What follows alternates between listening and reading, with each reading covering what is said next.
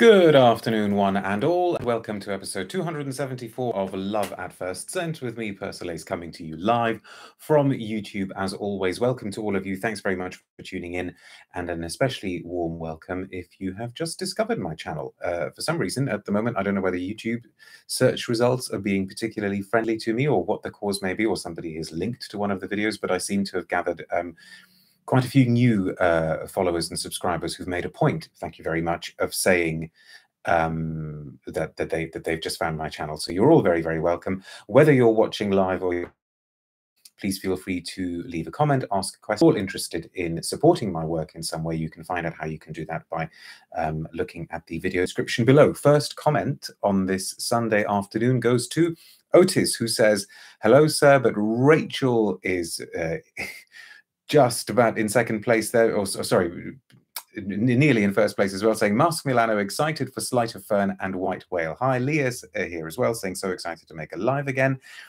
And Rachel, I think, has clocked this because she is saying just purchased vintage Miss Dior. Fantastic green scent. Claire is here as well. Kenyatta's here too. So is San saying good evening from India uh, namaste or uh, namaskar or whichever whichever version of that you say wherever you are in India. Holly says, I know a few beauty journalists have shared your channel on, on Instagram lately, maybe from there. Ah, interesting, interesting. Well, thank you to them, if, if that is indeed what they have done. Frag Chitown says, greetings from Illinois. Lovely conclusion to a sunny afternoon, says Joan. Really looking forward to this. And Chris Honey says, hello from Moscow. A very special hello to you, sir. Do you know, today has been a particularly sunny day here, Chris, in the south of England. So um, I perhaps haven't missed your part of the world uh, as much as I have when it's not been quite so sunny, when it's a little bit gloomier. But but then, as I keep saying to everybody, the reason why we enjoy traveling so much is not just because of the weather, but a very very special hello to you, Chris. Thanks very much for tuning in and belated Eid Mubarak. Uh, Otis says, It is timely that you're discussing Dior. I bought the new Homme yesterday, artfully marketed by our friend Robert. Yes. And it is absolutely fine. Your review of it was perfect. Oh, thank you very much. Okay. Keep the comments coming. Um, I will uh, read as many of them as possible as we go through. But for the benefit of those of you watching live, the plan for today is to do another sort of feature length episode so that we can relax on this Sunday afternoon and have a chat about lots of different things. Some of the things that, well, a, a couple of things I absolutely want to try to cover, well, uh, and, and um, um, determined to cover, is this new version of Miss Dior. We have yet another version of Miss Dior, but an an unexpected one. I, I didn't see this coming. I'd also like to talk about the latest additions to the um, Atelier Versace range. And I would love to be able to make some time for the new ones from Masque Milano because that is always a brand worth paying attention to. So let's see how we go. But you know the rules. No matter what happens, we will not go over an hour. And before we start smelling, I should also say if you are watching live or you watch the recording today, please, please, please try to tune in tomorrow. So that's the 9th of May, uh, 2022 at 5 p.m. UK time for a live interview with Sally Hughes, the Guardian's beauty journalist and perfume writer, and I think quite easily one of the most um, respected and acclaimed beauty journalists in this country. She's also the author of several uh, beauty related books. So I, I think you don't want to miss that one because I will be picking her brains as much as I possibly can for insights into the industry. Yura says, "I have never seen you in such a simple shirt, Mr. P." Yeah, I, th I thought I thought today we would just do the the crisp white T-shirt thing, right? Um, I'm getting Simon Cowell vibes. Oh gosh, that can't be a good thing, can it? so please be ruthless when you sample these. Okay, well, yes, there, there is the flip side of that. I suppose I could just, well, I always say it like it is, right? Okay, so take a look at this. In, in case you haven't already been aware of this release, you're not. This this came out officially, I think, just a few days ago. So this is called Miss Dior Rose Essence. But if you look at the packaging a little bit more closely, you will see that it has a date on it, 2021, almost as though it is a, a, a particular vintage, because that is indeed what Dior have done. Maybe they have actually been listening to a lot of us who have said, look, if you're going to make all of these different versions and variants, just date them so that we know which one came out when.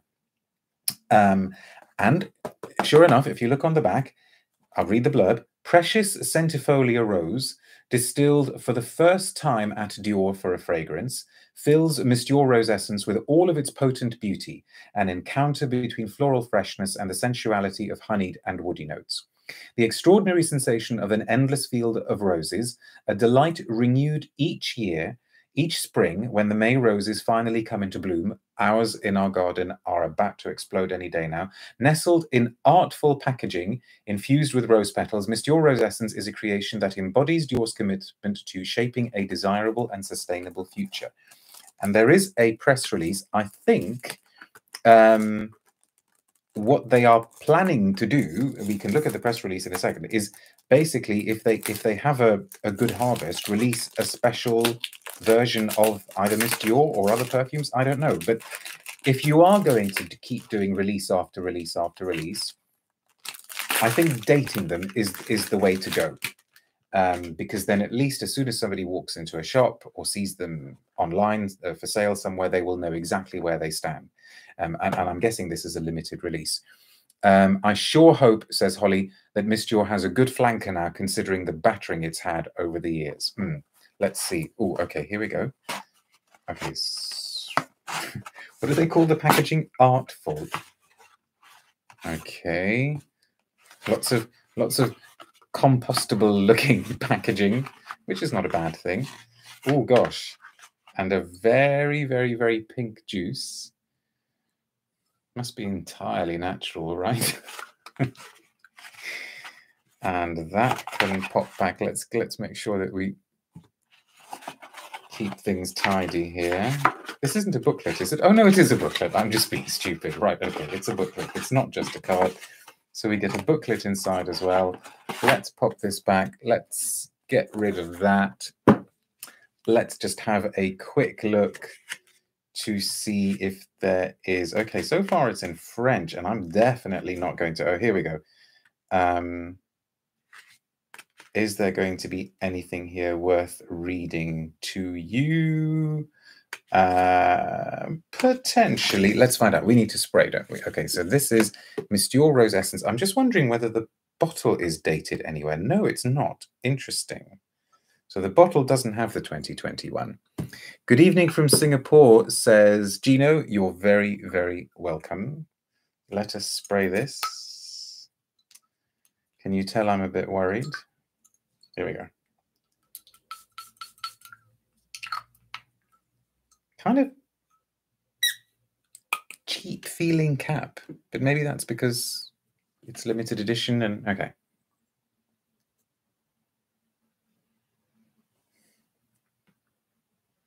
Well, it's a it's an extremely delicate, pleasant, gentle, suitably pink rose opening.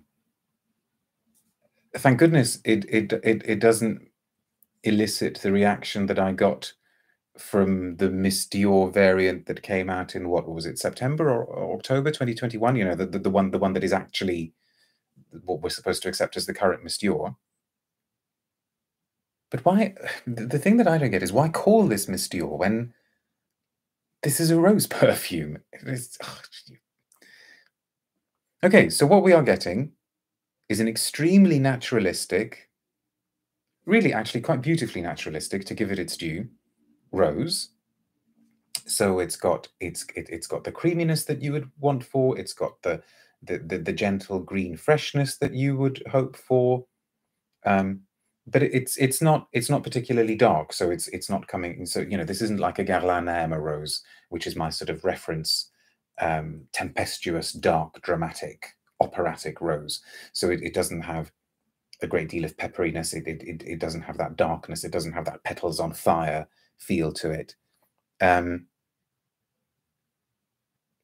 but I am also kind of thinking, okay, so it's a pleasant enough rose. And so what?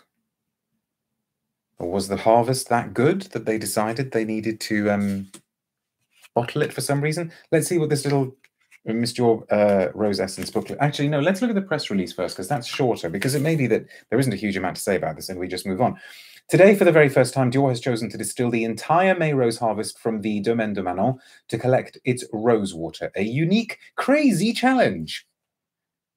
Why is it a crazy challenge? To give Miss Dior the most beautiful and the most precious of floral waters. In a tribute to the unique nuances of the Queen of Grace, Miss Dior Rose Essence celebrates with infinite pleasure the full beauty of the May rose, the sensual velvet of its petals, the exquisite green of its stem, and the powerful accents of its native soil. Such are its glistening, joyful facets. Did you did you notice me explode in a firework display of joy when I smelt it? The rounded, supple, and soft rose, supple is a good word actually for this, uh, and sorry, and soft rose water refreshes and permeates a base lined with notes of vetiver, patchouli, and a potent gaiac note. Steeped in naturality, the composition enjoys the luxury of a lower than usual alcohol level for a perfume, while remaining intense and persistent. Dior Rose Essence or sorry, or the floral, fresh, and woody celebration of a vibrant Grasse springtime. Okay, so is the idea that it's a sort of lighter, um, like oh, somebody else has popped up here. We've got Chris Honey and Renaud Salmon. Good evening, sir. The claim that they are using rose water, not rose essence or absolute, is quite interesting and surprising. Actually, yes, I thought that because because nowhere does it, you know, rose essence it says on the packaging, but then you're reading this and it says rose water. And I suppose it does have that that clarity that you get from a good quality. Um, well, somebody else commenting on the simple white T-shirt. what happened? Okay, next time I promise I will have to wear something really, really crazy and colorful. Um, so if they just thought they wanted, maybe maybe somebody thought, hey, we let's let's what was this? Let's let's come up with this unique and crazy challenge and harvest some rose water. I don't still don't understand what's quite so crazy about that. Um, and maybe they thought, okay, what perfume could we label it under? And somebody said, why don't we do it as a Miss Dior? But still understand that. And is there anything from here that I should? Uh, read to you. Let's let's take a quick look at this, and and, and if we if we start losing the will to live, then we'll move on. Miss Rose Essence. There was a time in Grasse when the fields of flowers stretched as far as the eye could see. Centifolia rose, jasmine grandiflorum, tuberose, and many others filled the air with their delicious scent and secretly perfumed the water that ran through the fields with their powerful fragrance. These naturally scented floral waters flowed into the city's fountains, and so scented fountains were born. Wonder if that's true. That's amazing if that is true. Anybody anybody knows um, whether that's true or not? I mean, I'm sure it must be true if they've put it in this book, right? Today, Monsieur Rose Essence is reviving their memory and writing a new page in the history of Grasse floral waters with centifolia rose water. So again, as I know pointed out, it's rosewater, rosewater, rosewater. A personal pleasure passed down from generation to generation by the women of Grasse, floral waters are delightfully fresh and delicately scented, drawing upon the expertise and specific techniques passed down from mother to daughter. The precious water is produced by distilling the roses from their personal harvests, a beauty ritual with age-old virtues. I smelt some beautiful rose essences and rose waters during a recent trip to Oman, but I hope to be able to tell you more about that soon. And hopefully, in the presence of Monsieur Salmon, who has agreed. I think I can. It's okay to say this because he, he has agreed to come back for an interview. So please show your appreciation for the fact that um, he has agreed to come back for an extended interview, but we haven't set a date yet. So that and, and we will talk a lot about Rose when he comes back, I'm sure. Today, Dior is the heir to this expertise, offering the quintessence of centifolia. yes, lots of comments coming through already. Offering the quintessence of centifolia rose floral water to women around the world. Don't I get to use it then? The celebration of an untouched olfactory memory, the heart of Miss Dior Rose Essence shines with the precious drops of a fresh centifolia rose water, distilled for the first time at Dior from rose selected with care from the harvests of the Domaine de Manon, Dior's exclusive and historic partner in Grasse.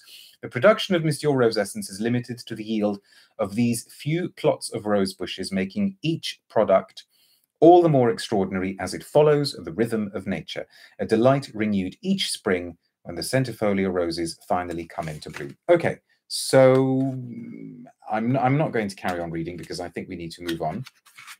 Rather gorgeous picture there. Although there is also a picture of me picking some roses in Oman. This is true.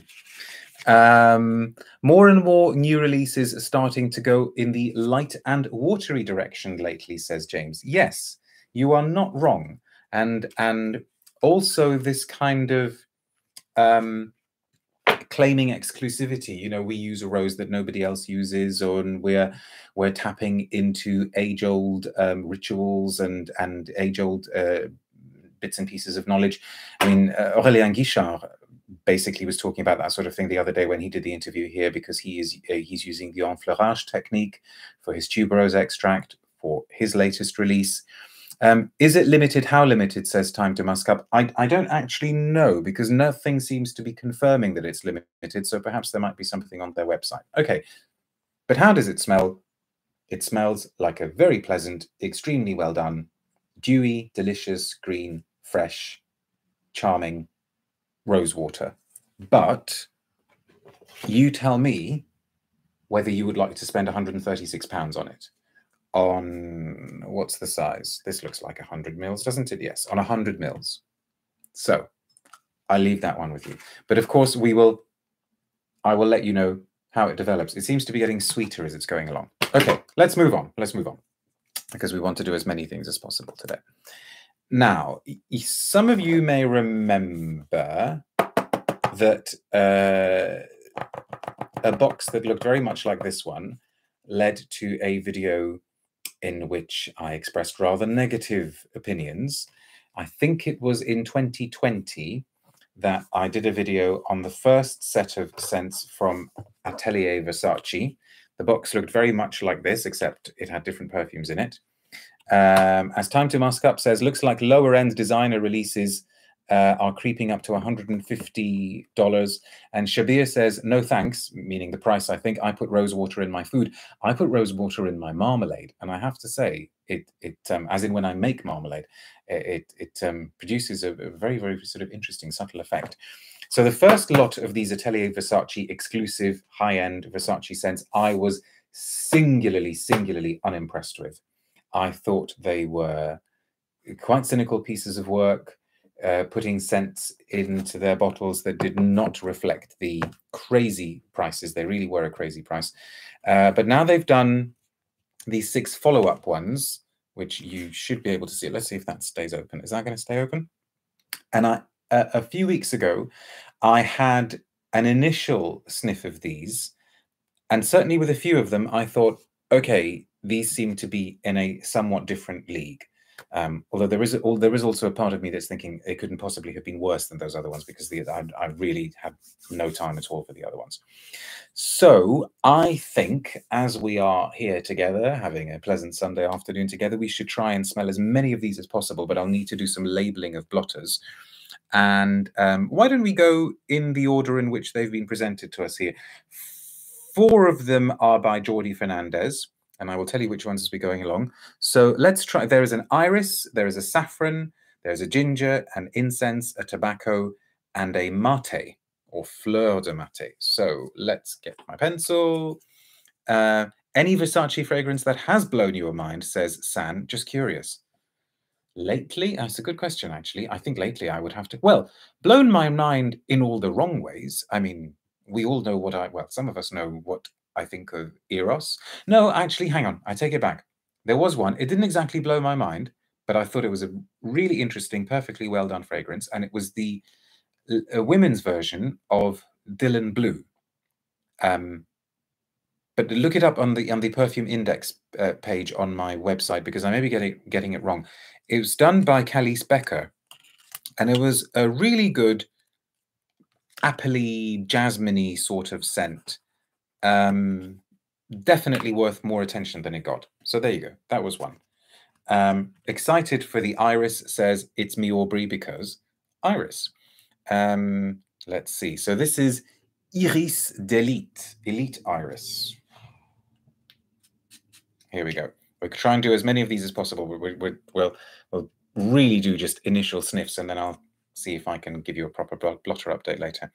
Those Versace's are barely carried anywhere, says Time to Musk Up. Saks on Fifth Avenue in New York. Put them in a dark corner of the store. Oh dear. Do you think the box is trying to tell us something? Um, stay open. Okay, the iris is yeah, I agree, Aubrey. Um, the iris is darker than you would expect. So, you know, normally if, if, if you're thinking that it's going to be iris, iris, iris, you would expect something whiter, more melancholic, powderier, earthier, rootier. This is this is a kind of almost heading into kind of sticky vanillic iris, but it's interesting because that somehow makes it more nocturnal. Like an iris that's decided that she's fed up with being called the Ophelia of the party, and actually she is going to wear a red dress and go and let her hair down and dance till the small hours of the morning. Okay, so that's one. That's one. I said we, keep going, right? Suspicious of anything called elite, says Frag Chitown. Next one is the saffron. So the iris is by Jordi Fernandez. The saffron is also by Jordi Fernandez. Let's get that one going so that we get as many initial reactions as possible, and then we can do a comparison and sniff them together. And and you will you may be relieved to know that I don't have a press release on this one, because um, I dread to think what that might be like. Uh, it's me, Aubrey says, okay, it's not for me that iris. I am a cold and melancholic person. Oh, there you go. So this is Saffron Royal, Royal Saffron. Also, you know, a name that kind of makes you think, oh dear, are you going to live up to this? Oh. Okay, that one doesn't start quite so well, but okay. Because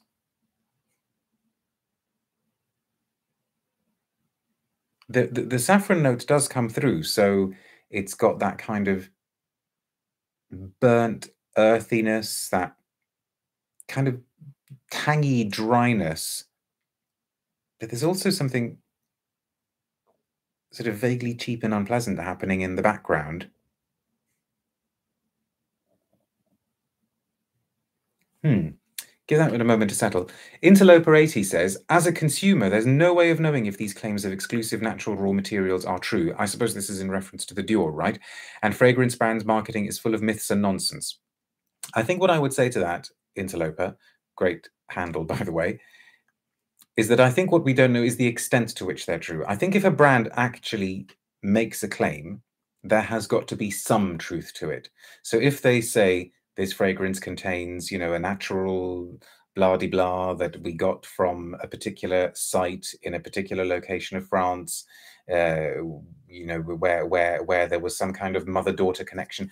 There will be a core of truth in that, but they're not telling you how much rose water they put in there. It's like it's like the, the, the Chanel thing, where every drop of Chanel number five contains some of the rose extract uh, from their own fields, but you don't know how much. You know, it, it, could be an infinitesimal amount. And of course, when you're making such claims, I would agree with you that you kind of need to know the extent to which the claims are true, but then that's when things start becoming a little bit secretive and shady and mysterious. Uh, exactly. Lyndon says Versace is owned by Michael Kors. Imagine the budget for these perfumes. Um, okay, well, maybe.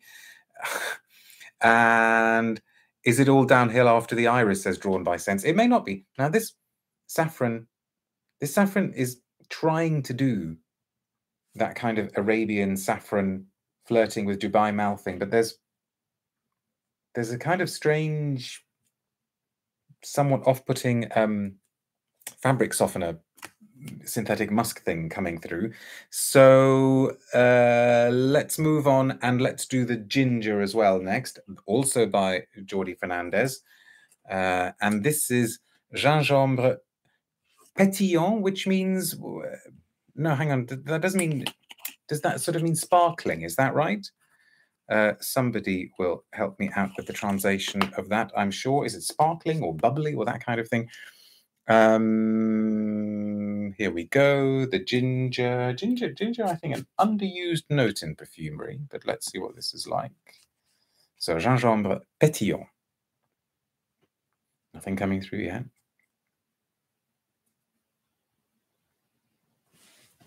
Hmm.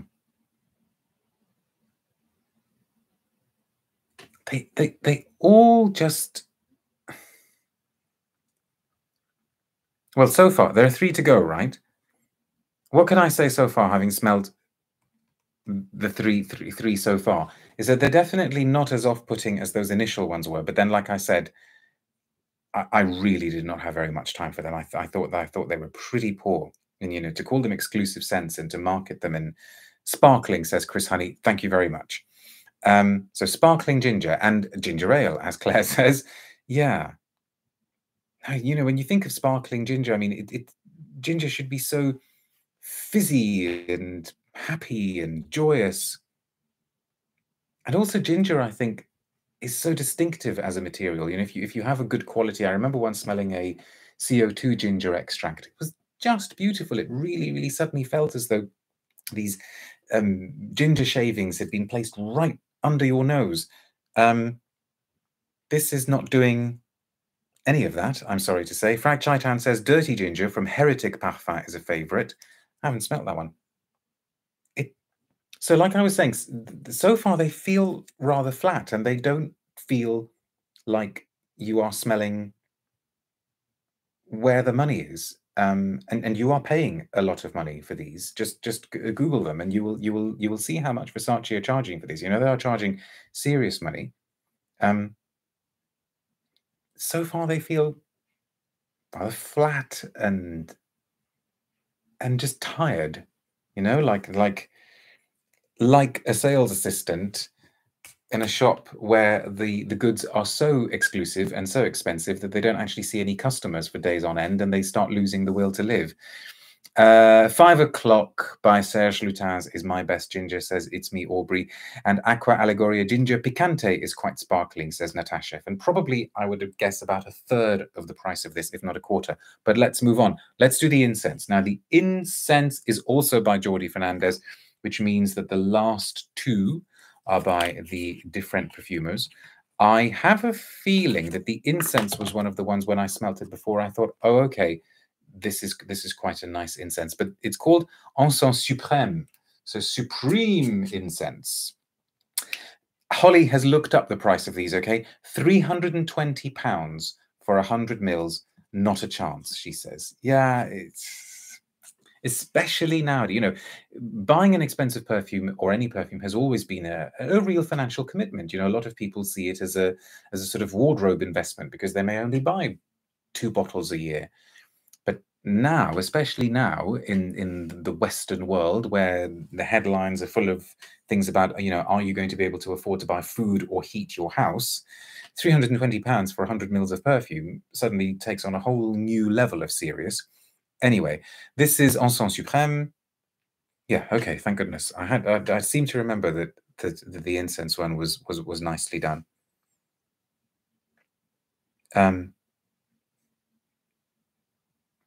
although again, interesting, in, interestingly, I should say, not you know not in the same league as Avignon, not in the same league as some of the incense notes that you will smell in an Amouage perfume, we should say, as we've got a few people watching from Oman, or um, Andy Tauer's incense extreme, you know, some of those those, uh, and also the incense scents from Armani Privé, right? Uh, what was the um the the the, the, sort of the, the flagship scent? I I forget what it's called, but again it just feels a bit flat like it just doesn't have the impetus and the energy and the will to pick itself up and and and come to life. Um, Western Oud says Versace go and do it again. Disappoints with its perfume. Not that surprising, really, is it? Well, yes and no. You would have thought that. I mean, okay, they've got their they've got their mainstream high street sense, but you would have thought that if they're charging as much as they're charging for these sorts of things, um, that they would put the quality into it. Bois d'Encens says, Sam, thank you very much. That's the Armani Privé, which is a really, really great incense perfume. So here you, it, it, this is recognizably frankincense.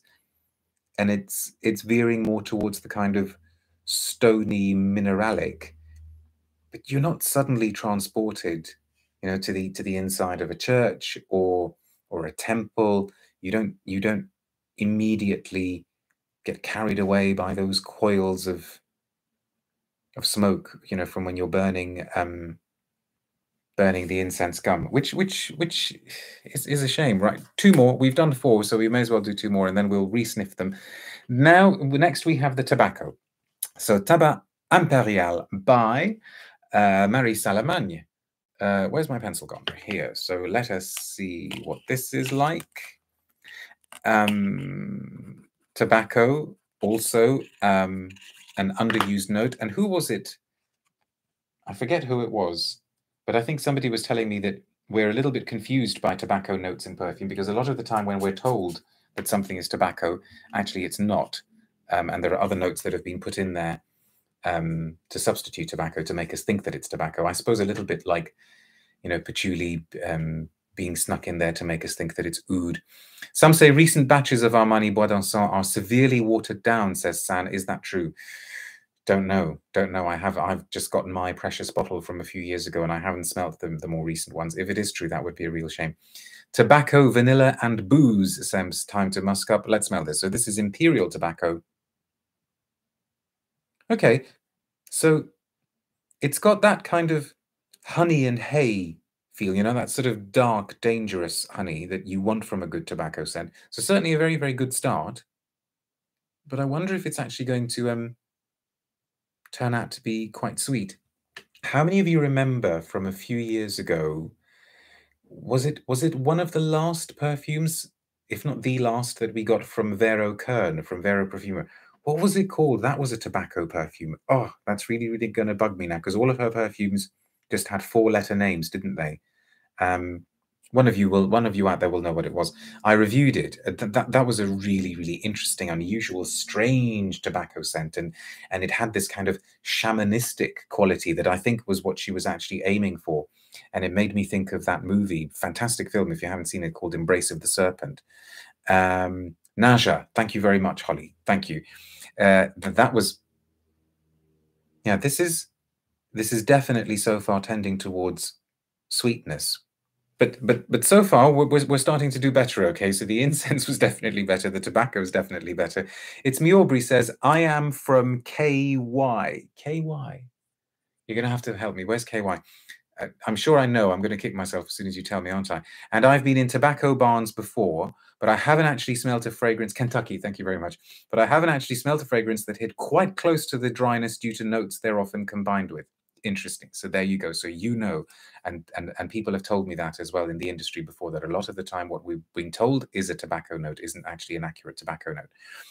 Uh, Mark says, "Nice to see you again, Mr. Persolaise. Always makes my day a thousand times better." That's very sweet. Thank you very much. Love your videos. Um, yeah, it there's a woodiness attached to the tobacco as well, but it's got it, it it's it's fine. I'm thinking as well of Roaring Radcliffe, which I thought was another good tobacco scent from Penhaligon's, discontinued, I believe. Obviously, nobody else um, agreed. But you know, they don't they don't have that they don't have that sending light bulbs off, flashing in your head with the, with the sort of amazing quality that you smell. And finally, we have Fleur de Mate, by somebody who is no stranger to this channel, um, Monsieur Olivier Cresp, who we need to get back actually, so he can talk to us about his ink scent for Akro. Let's see. Let's see if it's going to be three half decent ones in a row. Um, but I, I, think I think you can tell from my tone. I think you can tell from the forehead, from the general expressions that I, I can't wholeheartedly recommend these to you, and especially not at that price. You know, there, there are better incense perfumes out there. There are better tobacco perfumes out there certainly better saffron ones out there. So and you kind of think, okay, Versace, try again harder next time. Okay, this is this is interesting too. Well, mainstreamy masculine from a few years ago that maybe didn't do terribly well. I don't know why, and so I I, I never I never I, I try not to question these sorts of instincts too much because there is usually something in them.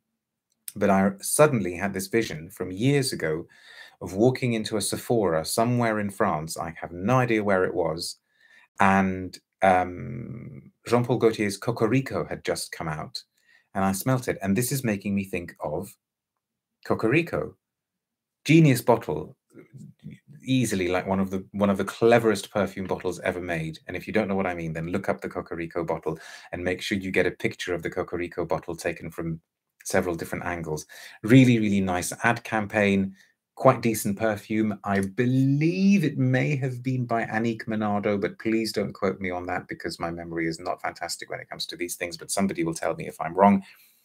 And um, as time to musk, yes, you're right, time to musk up. So you look at that bottle from sort of full on and it looks like one thing, and then you look at it from the side and it looks like something else. It's it was just so well done.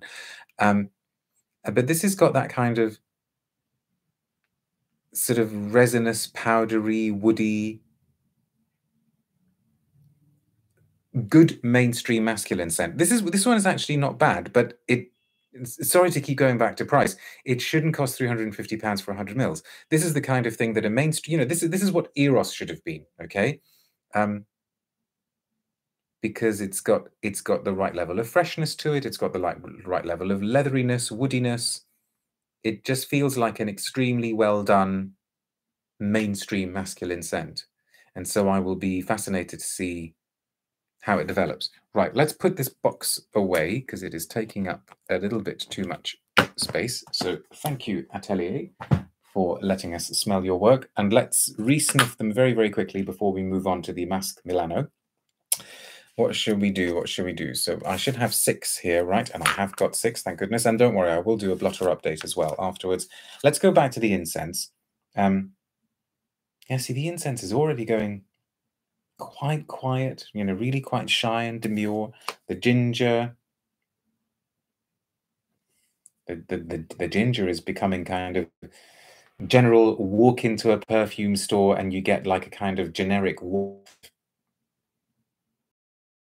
really really doesn't have the life and sparkle of ginger at all um, Versace are going through some strange and awkward times, says Holly, so it perhaps makes sense that the perfumes are following suit. It really is a shame, though. The iris, the iris has still got something interesting about it, just because it isn't going down that more predictable chilled iris route. But it hasn't it hasn't got much strength to it. It hasn't got much power to it. The saffron, no, the, the saffron to me is that is is the sort of worst of fake Arabian perfumes. You know, the ones that are sort of trying to play a certain Middle Eastern card, but just don't manage it. Seems like every designer brand says Interloper wants to jump on the private line bandwagon, but the premium price tend, uh, needs to match the perfume. Yes, and I think I think there are hardly any brands that haven't done it well. And the tobacco, but the tobacco's the tobacco probably uh, on this first sniff, the tobacco is probably the best one because it's somehow the most faithful and it's it, it, it seems to have more layers to it. It seems to have more details to it. Um, yeah, you keep kind of wanting to come back to the to this one and try to figure it out. And then finally, Monsieur Cresp's Fleur de Mate. Yeah, nicely done. Nice balance of sweetness and dryness. But as I say, 10, 15 years ago, this totally would have been a mainstream masculine release that would have deserved to have done well, but maybe wouldn't have done well. I don't know. So there you go. Uh, a whistle stop tour of those six. Hmm. What are people saying? Uh, the Eros Parfum was such a disappointment, says Jay. Uh, Woozy says, regardless, they're all overpriced. Yes, I can't disagree with you there. Okay, let's have a bit of a reset and let's go to some a, a brand that it but that um, at least tries to be uh, more daring, more bold, more interesting. Two new releases from Masque Milano. Uh, and I believe these round off the opera series, but I'm not sure. I wasn't able to attend the online press launch for this one. The information will be out there somewhere. So we have now got Act 4, Scenes 3 and 4. Scene 3 is called Sleight of Fern, and it's by Stephanie Bakouche and scene four is White Whale by Christian Allori. Um, will you be trying the new Parle-moi de Parfum, says Woozy. I would love to. I haven't been able to get a sample so far. As you know, I have a lot of time for that brand as well. So let me see if I can get a sample. So let's go in order. Sleight of Fern is one of these names that you think, okay, somebody maybe who doesn't quite get the nuances of English thought this would be a clever name to give a perfume, but never mind. Let's see if it actually smells uh, fern-like, because as I'm guessing it's going to be some kind of a fougere, right? Let's see then. So Stephanie Bakouche's Sleight of Fern, latest from Masque Milano. I believe they were released only a few weeks ago, three weeks ago. Masque Milano was my introduction to Love at First Scent, says Joan. Well, how great. I heard they wanted to do a classic fougere with this one, says Rachel. Okay, let us find out. And Azuki2 says, could you review the new scent experiment by Rook? I was really impressed. I haven't smelled that one either. Okay. Oh, okay. Oh, thank goodness. You know, sometimes you start thinking, okay, am I actually having a really bad day and just not smelling properly and being really unfair to the Versace's in this case? But um, no, this is interesting. It's suddenly there's so much going on here. Um,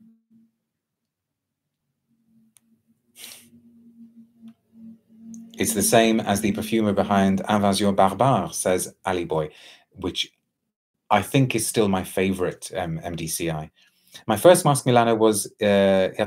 As much as I like the opening, the base was really disappointing, says Woozy. Okay, so this seems to be doing so many things at the same time because you are totally uh, taken to those kinds of 1950s, 1960s men's barbershop sense, so proper, proper fougere, but without that kind of crass horribleness, um, technical term, that has blighted that particular genre in the last, I don't know, 15, 20 years.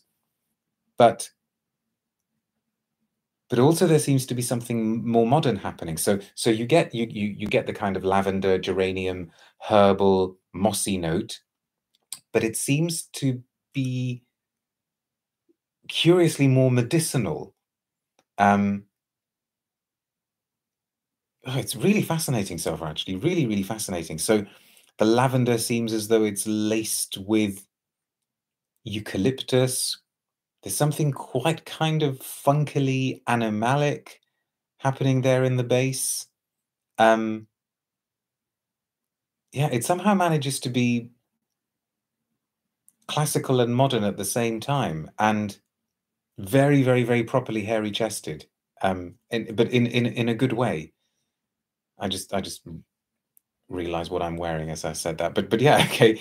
Um, this seems alive, says Rachel. Yes, completely, completely. And you know, when, when and, and and funnily that you should say that because with those Versace's, I kept thinking to myself, they are just dead. They're not leaping off at me at all. Whereas this this is this is like reminding me of all of the best bits of old fougere, but but somehow made maybe greener and more herbal. Ah, fascinating, fascinating. Let's see what the brand actually says about it, and then we will smell the whale one as well. So, Sleight of Fern. Um, of Fern, Fern has been created uh, with respect to the historic construction of fougere fragrances, in line with the most deep, unique, and recognizable notes of the classic formulations, which are the ones that also enhance a Chypre signature. We worked on this new composition with the aim of making it elegant and distinctive, uh, sensual, addictive, and very sophisticated. A new fragrance that brings comfort and souvenirs of our forefathers, as well as modernity and unexpected combinations. Tuberose and Narcissus play fatal attraction in the heart of Sleight of Fern. Gosh, if you say so. I mean, yeah, Narcissus I can get. Uh, bringing depth, complexity, and a very attractive sensuality to the minty and rosy geranium. This mesmerizing floral heart opens with crispy citrus, spices, and aromatic herbs that gravitate on top to showcase the most pleasant and modern facets of French lavender. This unique scented journey gently leads with confidence to a stylish, vibrating, and refined woody leathery base, where birchwood echoes with le leathery red thyme and um, oregano on top. The circle is squared. I mean, really fascinating. So officially the notes are bergamot, French lavender, a fig sap accord, lentiscus, red thyme, tuberose, geranium, narcissus, sandalwood, birchwood essential oil, patchouli, oak moss, oak moss and tonka absolute.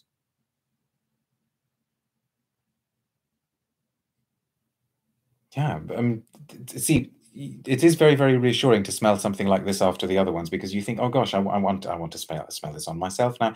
It it's kind of there is definitely an, an irony to it. So you know there was a, there was a, a, a, fad a few years ago. I think it's kind of faded now for women, uh, certainly in Europe, in the UK, to don 1950s housewife dresses uh, with floral prints and cupcake prints and, and go to tea parties and things like that. But of course, they were doing that very, very ironically, fully aware, one presumes, fully aware of the position of women in 1950s Europe. This seems to be doing that same kind of ironic thing with men's sense. So we don't particularly want masculinity to entirely go back to what it was like in the 50s, but we can, you know, perhaps we could put sort of, I don't know, Brylcreem or wax in our hair and unbutton the top button a little bit and do a kind of like, you know, 1970s take on chest uh, chest exposure and and enjoy this more old-fashioned take on scents. And I and I, I would agree with the, with the press release that it is the it's the mintiness and the kind of medicinal herbal quality that makes it um, makes it feel really really modern. So I think we should do the other one. Now, white whale sounds as though it's going to be completely different. By the way, in case you're wondering, I have no idea how these actually fit into the overall story of an opera and what that is all about and and and, and how it works and i'm sure the information must be out there somewhere um, call me ishmael says it's me aubrey rachel says white whale i'm most intellectually interested in the perfumer spent five years making the ambergris accord oh i did not know that the perfumer is again christian allori um, if masculinity reverted to Bondy, it wouldn't be too bad, says Woozy. Is there ambergris in white whale? Well, we shall find out, or maybe we'll find out. Okay, so let's see what this is going to be like. White whale after the um, the fern, and you may just about be able to see that on the sample there is that whale tail motif. Can you see that? No real ambergris, says Rachel. Okay, so they just try to recreate the smell that they ran. White whale from Masque Milano. Let us see. Oh gosh, but certainly marine. Immediately making me run for the hills. Melanie marine. Suddenly I'm like I'm peeling a kind of cantaloupe melon and digging a fork into it and eating it. I'm not seeing whales as yet. I'm seeing lots of melons. Um, but very you you know and, and i think a lot of you are with me on this that marine notes are not usually my favorite thing, just because more often than not, I think they're so badly done. But here, there could be a suggestion of Calone, you know, there could be a suggestion of something from New West or Calvin Klein Escape, but that not not in the way that makes me run for the hills, because that one, uh, Calvin Klein Escape for Men, absolutely makes me run for the hills and set up in a cave there and never want to emerge for the rest of my life. Melon deserves a comeback, honestly, says it's me, Aubrey. Um, Okay, so this is, I'm guessing this is this is going to be a bit of a journey. So we will need to give this one some time. Let's give it, it's already starting to present spicy facets and something dry and strange. It's very, very strange, very, very strange. Okay, let's let's see what the um, what the press material says, and then maybe by the time we finish reading that, there'll be a, a bit more development here. So, white whale. A quote, of course, from none other than Mr. Melville. Call me Ishmael. Some years ago, I thought I would sail about a little and see the watery part of the world. The creation of the fragrance was a journey in itself. See the process described by Christian Allori, the perfumer. The starting point and the centerpiece of the fragrance is ambergris. I had worked on an ambergris accord, he says, using some natural ambergris as a target reference while working in the Paris IFF office. I pulled the Accord out from my library and was ready and eager to use it in abundance. During our brainstorming, we clearly envisioned, envisioned rustic and rough woods. Contrary to smooth and polished, this ship was made to take on hardship, the harshest conditions that weather and the ocean can offer. We used cedarwood Virginia, Cistus labdanum, uh, patchouli from LMR, vetiver from LMR, cypress from LMR, and oak moss. We were careful dosing in the salty water nuances. Here's where we probably went through the largest number of reworks and modifications in order to reach the right balance with the other elements. Black pepper from LMR to give a cold, fresh, airy feeling combined and amalgamated so well with the salty water notes. Up until here, the fragrance was telling a story of dark and rugged life at sea. We decided to bring some light and warmth into the picture, countering with softness using osmanthus from LMR and violet flower. No wonder this feels just very, very strange and unique. We wanted to bring the nostalgic and familiar smell of the pages of an old book using Orris concrete from LMR and Olibanum from LMR. We finalized the pursuit of the mythical white whale with a touch of boozy absinthe for the fellow crewmen before meeting their fate. We used Armoise heart, LMR, which contains a higher concentration of thujone than most Armoise extracts. The use of our precious LMR natural raw materials was essential in the construction of this fragrance. So it, it they've they've divided it into different sort of concepts okay so the head notes they've called candles ropes and the vast ocean and that contains olibanum salty rope accords black pepper and uh, sorry black pepper from madagascar so maybe that was the the melony thing was meant to be the sort of salty ceylon aspect the heart notes are what they call there she blows um that's that's got the ambergris accord the osmanthus the violet flower and the orris and finally, the base notes are meant to represent the ship. That's got the cedarwood, the patchouli, the vetiver, and the cistus labdanum. So conceptually fascinating. Now, you know how perfumery and associations work, right? As I read this, I'm thinking, yes, okay, I get it. I get the ship, I get the wood, I get the hardship, I get the sun, I get everything being sun baked and damaged by and corroded by the saltiness. I'm not thinking I necessarily would have got that had I just smelt the perfume. But I think what I would have got was definitely a sense of strangeness and originality. There is there is something world weary about it. There is something of the past, and and I guess that's um, that ties in with with the Sleight of Fern because they both they both feel like they both feel nostalgic in a way, but one is nostalgic, and that's the Sleight of Fern, and is and and is looking back through slightly rose tinted glasses, whereas this one is nostalgic and acknowledging harshness. It feels it feels pained, but in a really really interesting way. This one will be fascinating to wear on skin because it's it's just just just just on the verge of kind of standoffish and off-putting, but not quite. Very very complex, I think, and and clearly lots and lots of things happening there. Hmm, interesting. Well done to the boys and girls at Masque Milano. That's a good press release, says San. Nothing pretentious. Sounds like a labor of love. Yes. One uses the vocabulary of perfume, says Rachel, and one establishes its own abstract vocabulary. Good, very good point. Absolutely, very, very good point. Yes, and, and it does. But and very, very difficult to pick out a particular thing, except maybe just a dry woodiness supported by all of those other materials. Hmm. Fascinating. Lots of things to smell for the, uh, the the blotter update, and I can't quite believe how this has happened. But we are at almost at the 55 minute mark, so I will just quickly mention this guy here. This is the 2022 limited edition re-release of Do Son from Diptyque. A lot of you will be familiar with the scent. It first came out in 2005 as an EDT by Fabrice Pellegrin. Uh, then he did an EDP version of it in 2013. One of Diptyque's uh, most beloved scents, I think. Uh, a, a, a, well done, um, airy, light, uh, and air infused uh, tuberose. So if you haven't smelt it, do seek it out. And, and I think Diptyque are trying out this idea of going back to some sense in their archive and perhaps uh, re-releasing them, representing them, putting them in slightly different packaging. There's also the tuberose candle that is that is um, packaging. So if you happen to be going, and if you've never smelled Do Son, certainly a good place to start with the brand. Uh, Holly says, love this one, and the gift sets are so pretty. I assume you mean the diptyque. Yes, yes. And I, I think, did they do a hand cream for it as well? I seem to remember. Anyway, Thank you so much to all of you for watching. As always, like I said, please feel free to leave a comment, ask a question, whether you're watching the recording.